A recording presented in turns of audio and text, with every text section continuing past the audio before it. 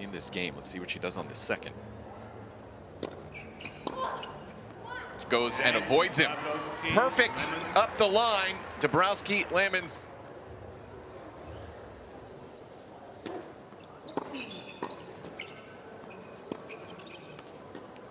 Oh, Oh, wow. wow. A near perfect lob. But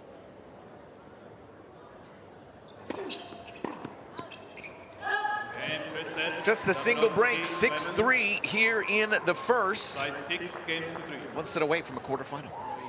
London, Paris, all the big ones, and they put themselves against us.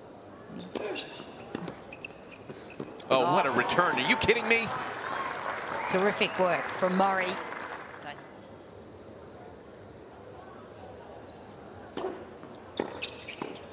Uh, finally, they do get that breakthrough on the Murray serve. Lammons, Dabrowski out in front, setting a break lead here on court three.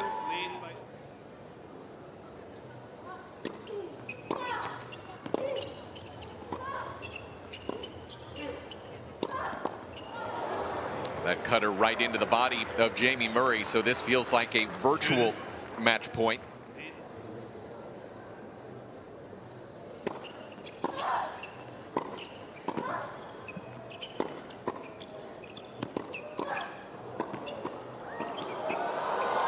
Oh, longest point of the day.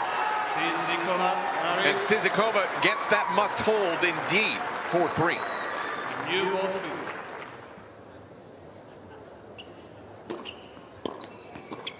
Not to be there.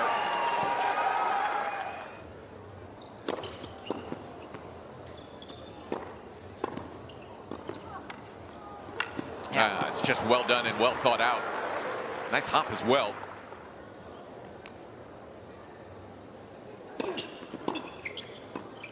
This has been actually a very good return game for Sizikova and Murray, hasn't it? It has. And as usual, Murray, clutch player, just makes it difficult for everyone to serve the match out and to. He's not point. going anywhere. Number four,